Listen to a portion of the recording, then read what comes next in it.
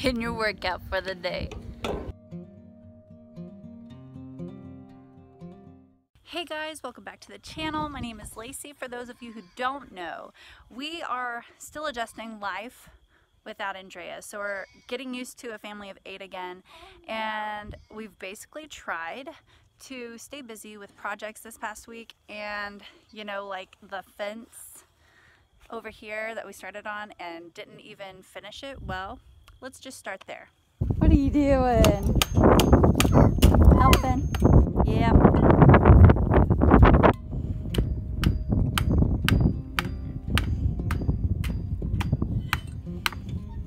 So the first task on our agenda was to get our goat pens finished. Our original pens were just supposed to be temporary and they were a bit of a pain to get in and out of. So we finally got the family together and rolled fence out to be stretched. It was, of course, an extremely hot day and no one really wanted to be out there, but we finally got it done. Also, here in our homestead, we have to make our own shade. There are no trees here, so the kids made the goats a tent. Not everyone was thrilled about it.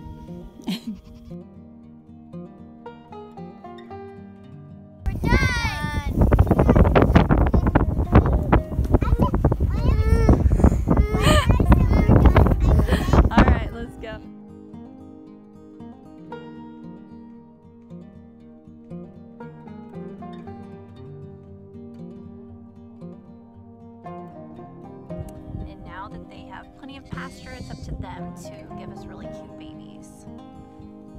Right? Let's hope.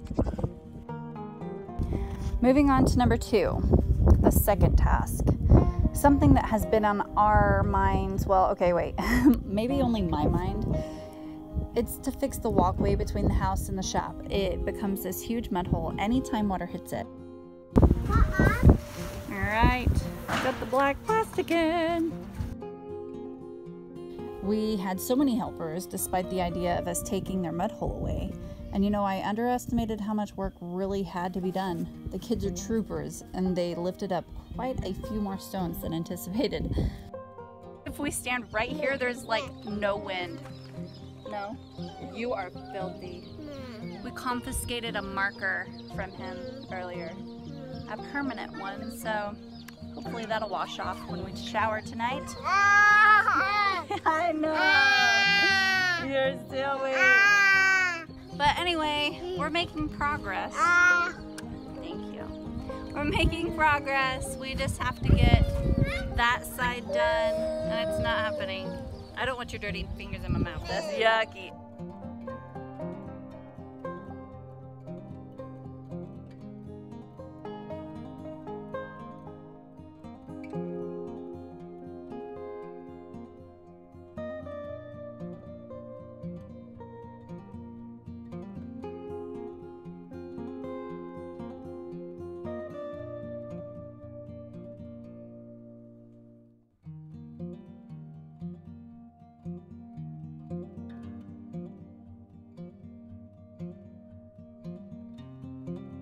It was windy and hot, but as long as I had the sprinkler going, everyone was satisfied with helping, or really, Eli. Eli was the best helper of that day. It's 100 degrees outside, and we are still not done with this project. We're almost to the point where all the rock, like the big rock, is really off strong. the trailer. I'm really strong. Eli over here, really strong guy, he's helping today. He's a such a big helper. Yeah. Thank you so much. You're welcome. Mm. Are you ready to finish? Yeah. And then we'll go jump in a pool. Yeah.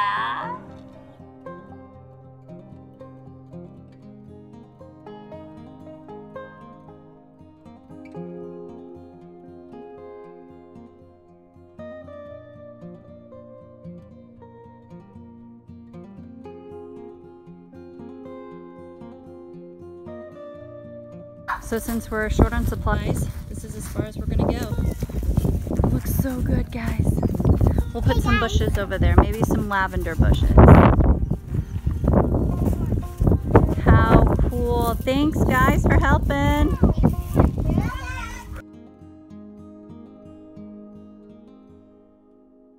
So it only took two minutes before Austin predicted that they would become little ammunition and Emlyn threw rocks at somebody. So we got that going for us. Most, most people call that genius. Yeah. Oh, Ed is exercising. oh my goodness.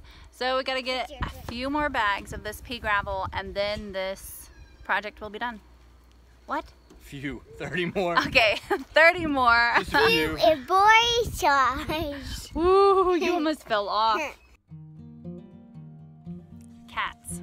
It's a touchy subject around here with my kids. We have had so many cats, and we have a terrible time keeping them alive between shop doors, uh, vehicle runaways, and fertilizer. We have just a terrible time, and that's all Amelia wants is kittens on her farm. We want cats, we really do, because out here in the country you get mice, and we have seen mice running around here in the storage container, and we really want some cats. And maybe we just want them too badly. Is that a thing? We now have three new kittens. They were all terrified about five days ago, and now we've gotten two of them to become our friends. One of them is still holding out and not really wanting us to even come near it. You walk by, it hisses and wants to scratch you. So we kind of keep our distance from that guy, but two of them are now our friends and the kids are constantly trying to keep them friendly because they don't want them to revert back to their past personalities. And so we're just hoping that they'll stick around. If anybody has any tips, please send them our way because we need all the help we can get to keep these kittens alive.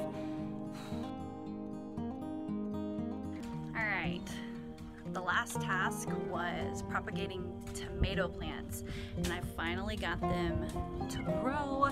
So before the last windstorm, I actually plucked some of the suckers off of there and plopped it in a jar of water and it started to grow. Look at all that, man. Last year I did this and it didn't happen, so I'm really pumped. So we're gonna plant some of these.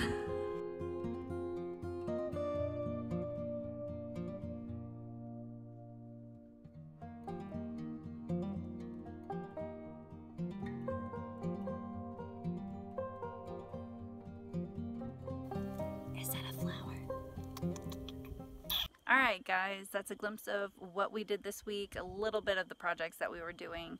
Um, hopefully, we can tame some kittens, grow some tomatoes, have some baby goats back there, and finish our walkway because that really needs to happen, especially since it's going to storm tonight.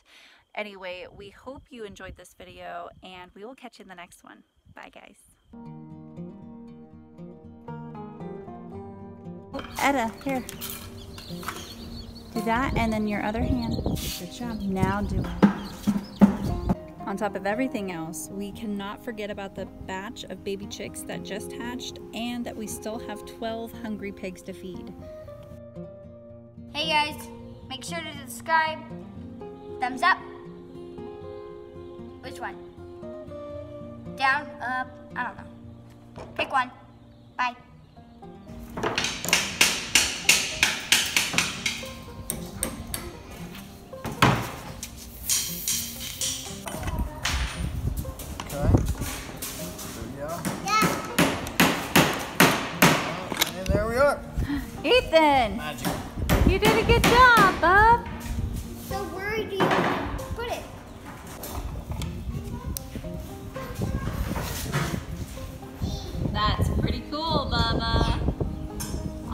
That's pretty cool, Bubba.